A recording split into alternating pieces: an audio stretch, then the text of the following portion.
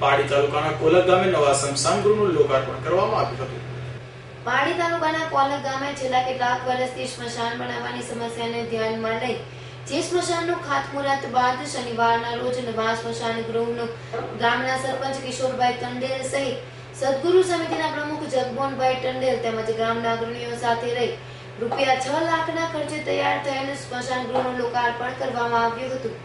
આ સ્મશાન ગૃહ હવે કોલક તેમજ સાથે રહી શિવકથા સમિતિ દ્વારા સ્મશાનનો દરેક લોકો લાભ લઈ શકશે. લોકાર્પણ પહેલા સવારે ટંડેલ સમાજના મહંત ગોપાલદાસજી ટોળીવાળા, મહારાજ ઠાકોરવાળા, મહારાજ મુલાકાત લઈ નાડિયાળ આપી તેઓએ વધાઈ લીધી હતી. અમૃત પટેલનો રિપોર્ટ એસ ન્યૂઝ, પારડી.